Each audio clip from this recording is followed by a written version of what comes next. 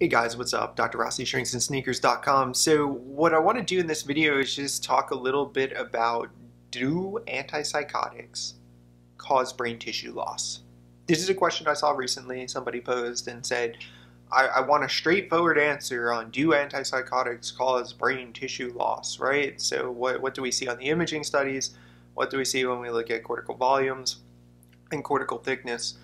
In patients with schizophrenia or those who are taking antipsychotics. So let's just make this really, really simple.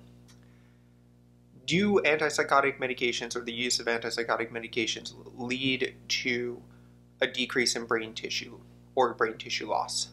The simple answer is yes, they do. So this is something that people don't always get, but if you just want a yes or no answer, then the answer is yes. However, like everything in life, and like everything in psychiatry, it's a nuanced point. So we have to talk about the next part of this, which is does the disease process itself of schizophrenia cause brain tissue loss? And the answer to that question is yes. So you have the disease process itself causing brain tissue loss, and you have the medication used to treat the disease also causing some tissue loss. With that said, I'm kind of displaying this particular picture here, this uh, slide, and I'll credit Dr. Nassir Ghaemi and his psychopharmacology lectures, which are excellent. If you're interested, go to his website and take a look at his content. But in this slide, it kind of can show you the number of sort of what that looks like, how much brain tissue loss is somebody having, and it's broken down by gray and white matter and in cc's per year and you can see that both for the antipsychotics and for the disease process itself.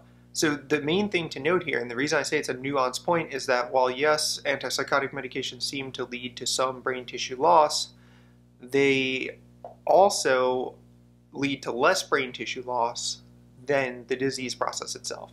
So that's the nuance point. The nuance point is that yes, while antipsychotic medications can lead to some brain tissue loss, it would be less than the disease process itself otherwise left untreated. So it's important to kind of note that situation.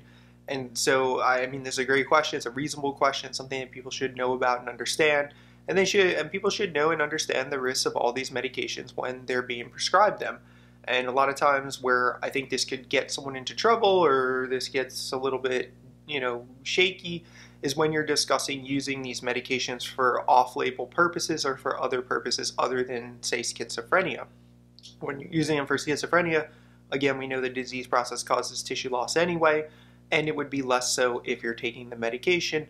On top of that, there are added benefits of having better symptom control on medication than there otherwise would be without the medication. So there is still benefit, but when it comes to treating things like depression or off-label use for sleep or off-label use for anxiety disorders, like some of the lesser, less severe um, disorders where you're augmenting with antipsychotics, you know, you may want to think twice about that when it comes to brain cortical loss. Hey guys, Dr. Rossi, shrinksinsneakers.com. So thank you so much to everybody who's liked and subscribed to the channel so far.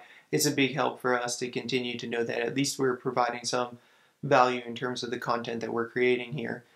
What I want to do is ask everybody if they like these videos, if any of this is helpful, if they have specific questions to please like and subscribe to the channel. And likewise, drop comments in the comment section. I am super responsive to those comments. I try to answer most of them myself and uh, I try to give you a detailed response to your question. So continue to come back to the channel, continue to share the material and help us to grow this channel so that we can keep promoting mental health and psychiatry as a field. Thanks again.